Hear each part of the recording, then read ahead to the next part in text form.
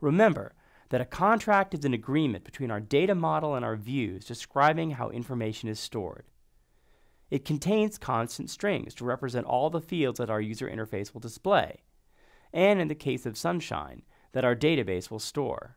We've just covered all the columns that we'll need to use in our two SQLite databases that will store weather and information. Now let's learn how these column name constraints are declared in our weather contract.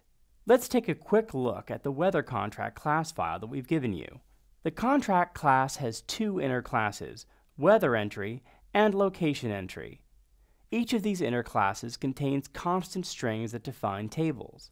Right now we only have column constants for weather entry, the table that contains weather forecast information. The first constant is the table name, which for the weather entry is simply the word weather.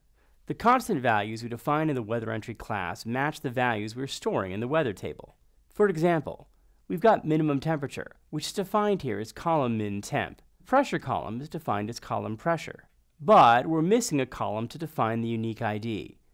This is because we're implementing the class base columns, which contains a constant called underscore ID. By adding an underscore ID column to our table as a primary key, we can utilize various Android helper classes that rely on the underscore ID column being created.